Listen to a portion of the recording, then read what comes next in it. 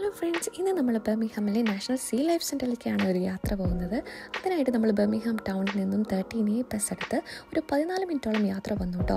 നിങ്ങൾ കാറുള്ളവരാണെങ്കിൽ ഏകദേശം തേർട്ടീൻ മിനിറ്റാണ് ഡ്രൈവ് വരുന്നത്. അവിടെ നമ്മൾ ബ്രില്ലി പ്ലേസ് മെട്രോ സ്റ്റോപ്പിൽ ബസ് ഇറങ്ങി ഒരു മൂന്ന് മിനിറ്റോളം നടക്കാനുണ്ട് കേട്ടോ. നമ്മൾ ഓൺലൈനായിട്ട് ടിക്കറ്റ് എടുത്തുകൊണ്ട് തന്നെ കാര്യങ്ങളൊക്കെ കുറച്ചും കൂടി എളുപ്പമായിരുന്നു ഇരുപത്തിനാല് പൗണ്ടാണ് ഒരാൾക്ക് ടിക്കറ്റിനായിട്ട് വരുന്നത്.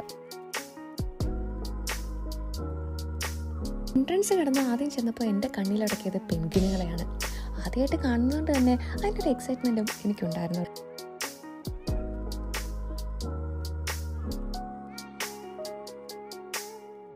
നമ്മൾ എൻട്രൻസിൽ കയറി ചെല്ലുമ്പോൾ തന്നെ ഒരുപാട് വെറൈറ്റീസ് ഉള്ള ഒരു ഭീമൻ അക്വേറിയം ഉണ്ട് കേട്ടോ അപ്പോൾ അത് കഴിഞ്ഞിട്ട് തൊട്ടടുത്ത് നിൽക്കുന്ന ഒരു കുറുമ്പി കുട്ടീനെയാണ് എന്റെ ശ്രദ്ധയിൽപ്പെട്ടത്.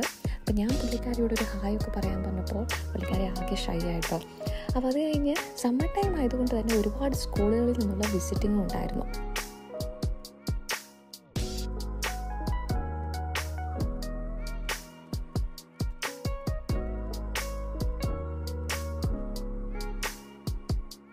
പിന്നെ അവിടെ കണ്ടതിൽ ഏറ്റവും ഇഷ്ടമായത് എന്താണെന്ന് ചോദിക്കുകയാണെങ്കിൽ അവിടുത്തെ ടണൽ തന്നെയാണ്. ശരിക്കും വണ്ടർ അടിച്ചു പോയി. അത്രയും ഇത്രയും വെറൈറ്റീസ് ഉണ്ട് അവിടെ. നമ്മൾ ഇതുവരെ കാണാത്ത തരത്തിലുള്ള ഫിഷുകളാണ് അവിടെ ഉള്ളത്.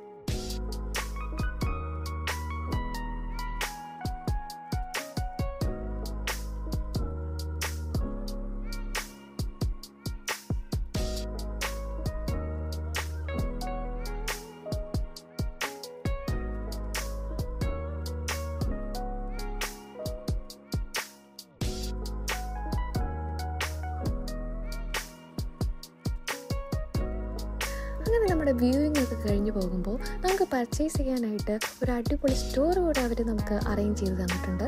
തികച്ചും അഫോർഡബിൾ ആയിട്ടുള്ള ഐറ്റംസ് ആണ് അവിടെ ഉള്ളത്. ഇരുപത്തിനാല് പൗണ്ട് കൊടുത്ത് ടിക്കറ്റ് എടുക്കുമ്പോൾ കുറച്ച് കൺഫ്യൂസ്ഡ് ആയിരുന്നു.